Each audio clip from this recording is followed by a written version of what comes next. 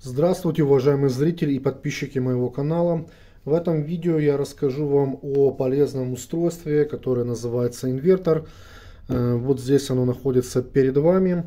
Купил я его на всем известном маркетплейсе AliExpress. Обошелся он мне около 90 долларов. Покупал я его с помощью мобильного э, приложения AliExpress, AliExpress которым эм, я вам рекомендую тоже пользоваться. И если вы его еще не установили, обязательно установите. Как новый пользователь вы сможете получить дополнительные скидки, плюс э, с помощью мобильного приложения намного проще и удобнее искать э, разные полезные товары и э, скидки, хорошие цены к ним. Все полезные ссылочки к этому видео будут в описании к этому видео. В том числе будет ссылка на продавца на Алиэкспресс, на котором я купил этот инвертор. Плюс также, скорее всего, это видео выйдет э, в тот период, когда проходит э, самая глобальная распродажа от AliExpress, которая называется ну, либо Double Eleven, либо мы его знаем как 11.11, и у вас есть все шансы купить это устройство на порядок дешевле, чем э, купил его я. Ну и даже если вам не удастся купить прямо в период распродаж, у Алиэкспресс все равно проходит э, постоянно распродажи, так что вы его купите в любой момент, когда вам будет нужно. Главное только подгадать и постоянно мониторить э, цены. Итак, перед нами э, вот такой инвертор. Кратко скажу, для чего он предназначен. Инвертор предназначен для преобразования постоянного тока в переменной. Когда это может пригодиться? Это может пригодиться, например, на природе, на даче, где нет возможности подключиться к э, обычной городской сети, либо, допустим, у вас э, бывают периодические отключения от сети. Э, поэтому это устройство будет удобно использовать. Мы берем какой-нибудь источник питания постоянного, допустим, аккумулятор 12 вольтовый, подключаем его к этому устройству и на выходе получаем то, что нам нужно от сети. Это 220 вольт, 230 вольт 50 Гц. В данном случае у меня, вы видите, это инвертор под брендом EA, EAFC Narzli, если я правильно читаю. Указана ну, модель 3000 Вт. И нам обещают производитель, что здесь чисто синусоида. Это мы потом проверим. 3000 Вт это означает, что конкретно это устройство э, поддерживает максимальную пиковую нагрузку в 3000 Вт. А номинальная нагрузка, при которой он может постоянно работать, это 1500 Вт, ну либо 1,5 киловатта. Это устройство приезжает э, из Китая в картонной упаковке, все хорошо запаковано, э, поэтому устройство к вам доберется в целости и сохранности. Саму упаковку показывать не буду, там она довольно большая. Комплектация состоит значит, из самого устройства, двух таких силовых э, кабелей для подключения к источнику э, постоянного питания, да, к аккумуляторам. И вот такая инструкция. что нам говорит инструкция? Ну, по инструкции скажу, что утверждается, что у этого устройства эффективность 95%. Ну, из того, что нам э, нужно, полезно. Есть табличка. И здесь у нас указаны э, значения, которые выдает данный аппарат. Значит, у нас 12-вольтовый аппарат э, выдает 220 вольт плюс-минус 6 вольт. Частота 50 Гц и нижняя защита по питанию, значит, для 12-вольтового устройства это у нас меньше или равно 9,5 вольта, а максимальная защита это у нас больше или равно 15.8 э, вольта. Вот. Э, так, ну, в принципе, тут э, рекомендую тоже перед использованием, конечно же, ознакомиться с инструкцией. Тут есть формула расчета выходной мощности, как нужно рассчитывать. Общем, полезная информация есть. К сожалению, инструкция только на английском языке. Далее, давайте посмотрим само устройство, рассмотрим. Оно приезжает в металлическом корпусе. Э, вот такая ребристая верхняя часть. Давайте покажу крепление, тоже по бокам. Ребристая такая корпус помогает лучше охлаждать э, само устройство. Вот здесь, давайте, тут у нас есть вентиляция, перфорация. Здесь сбоку тоже она имеется. Э, так, э, ну вот эта верхняя часть, это у нас наклеечка. Здесь у нас, видите, характеристики устройства. Значит, модель 3000W. Входной вольтаж 12-24 вольта, выходной 220-240, 50 Гц. Тут еще с обозначениями так указано 12 вольт слэш 24 вольта.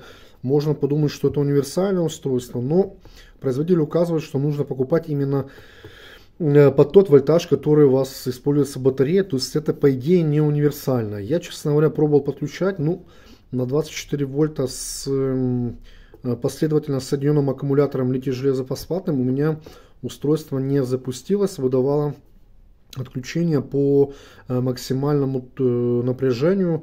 Возможно, у вас удалось подключить с какими-то другими аккумуляторами, не знаю. Но с 12 вольтами я покупал как 12 вольтный. Тут все нормально работает. Далее, значит, задняя часть у нас э, разъемы для подключения силовых кабелей, да, плюс-минус. И два вентилятора, которые работают э, в зависимости от нагрузки, либо быстрее, либо медленнее, да, ну, соответственно, меняется э, шумность работы устройства. С этой стороны у нас э, два индикатора.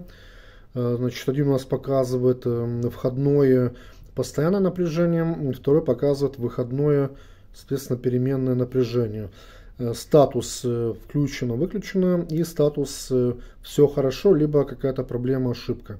Э, кнопка включения-выключения, универсальная розетка для подключения ну, разных устройств с разным типом вилки. И также такой порт э, тоже для подключения каких-то устройств. Я спрашивал продавца, э, внятного ответа я не получил, поэтому точно сказать, для чего это нужно, не могу. Вот, возможно, если вдруг вы знаете, взяли оттуда информацию, можете написать в комментариях, буду вам благодарен. Э, так, с, эм, по поводу шумности я буду вам подключать нагрузку, и вы сами сможете услышать. Э, ну, скажу, вот пока мне начали приходить к экспериментам, что, ну, э, работу устройства слышно, интенсивность шума зависит от нагрузки, но, в принципе, если поставить его в отдельное помещение и между вами и устройством будет закрытая дверь, то вы его почти не услышите. Ну, можно будет, в принципе, более-менее комфортно работать, чем-то заниматься. Э, вот. Э, так. Э, ну что ж, давайте подключим. Значит, у меня в качестве источника постоянного питания тока напряжения, значит, будет сборка литий-железный аккумулятор 12 вольтовый из четырех сегментов EVE LF100LA, 100 амперный, да. Вот, я его сейчас подсоединю. Давайте Заодно посмотрим, как это происходит. Довольно надежные разъемы для подключения. Все просто, но надежно. Так, это у нас плюс. Упс. Так, подключаем. Плотненько докручиваем. Есть второй.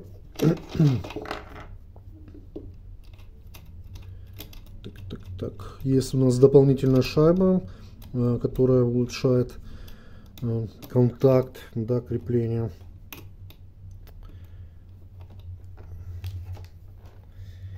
Так, подключаем, вставляем.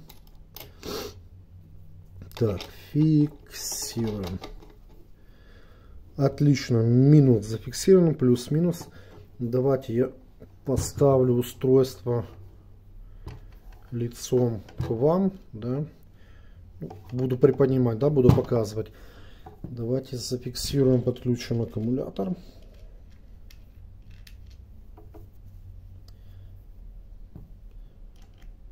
Так.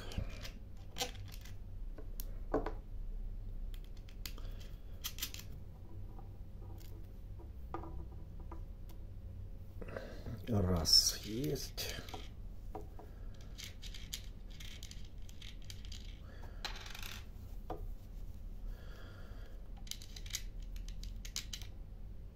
Так, искра, ничего страшного, так бывает при подключении, это нормально. Так, чик, все плотненько зафиксировали. Так, есть.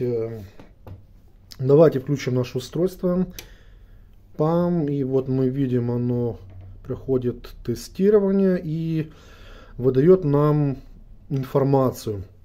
Э, питание включено, зеленый цвет. Если зеленый, значит ошибки нет. Если была какая-то ошибка, то э, загорелся бы, эта лампочка была бы красного цвета. А, также добавлю, что согласно инструкции устройство имеет несколько уровней защиты. От э, минимального напряжения, максимального напряжения, короткое замыкание и смена полюсов. Это точно защищает. Э, дополнительно можете посмотреть инструкции. Но я не рекомендовал бы вам экспериментировать, поэтому при подключении всегда старайтесь сделать все правильно с разу. Да? Итак, у нас устройство вот работает, показывает. Да, еще добавлю э, по поводу точности показателей. Ну, допустим, постоянный ток я измерял, э, допустим, если мерить на клеммах аккумулятора и то, что показывает на индикаторе, разница где-то 0,2 вольта. Здесь, ну, как в инструкции, где-то около 6 вольт может туда-сюда плавать. Э, вот. Э, нет, вернее не так. То есть, эм, ну, где-то в ту или иную сторону 3 вольта, то есть всего может быть туда-сюда, да, 6 вольт. Так, давайте подключим удлинитель и к нему будем подключать устройство. Плюс заодно замерим, узнаем, если здесь чистая синусоида. Это важная информация. Многие спрашивают. Плюс, ну, как мы знаем, чистая синусоида нужна для многих устройств бытовых, э, особенно если используются какие-то асинхронный двигатель, там, допустим, холодильник э, или, э, не знаю, газовый котел, да. Поэтому важно знать, если действительно синусоида. Для этого у меня есть вот такой компактный осциллограф. Да, давайте его подключу поставим. Так. Значит, дын -дын -дын куда-нибудь попробуем установить. Так. Раз. Так, поставили и попробуем узнать. Поехали.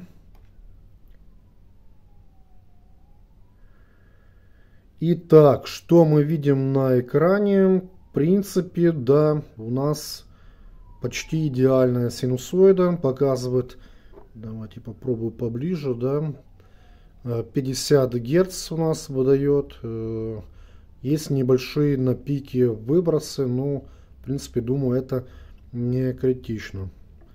Да. Ну что ж, в этом плане производитель не соврал, все хорошо. Э, инвертор выдает чистую синусоиду. Это плюс, это супер. Давайте тогда это мы отключим. Так.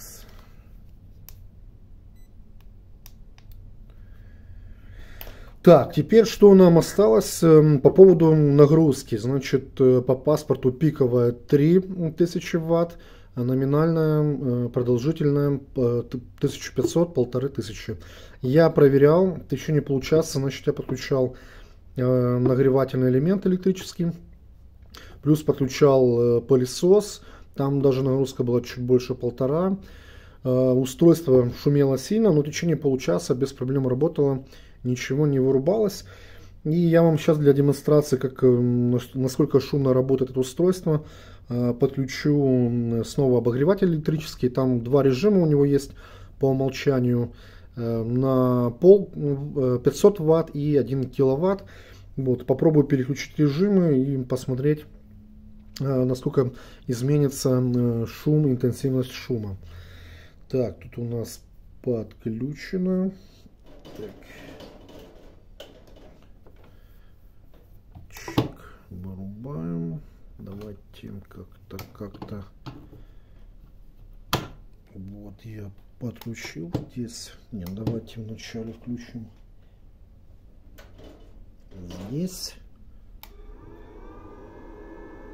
Вот, и начал устройство работать. Так оно у нас работает при нагрузке в 500 ватт.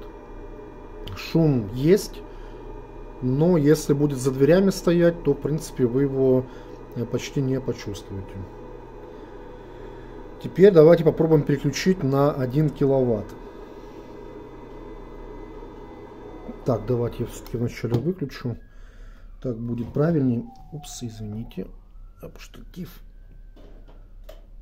Так, это у нас киловатт.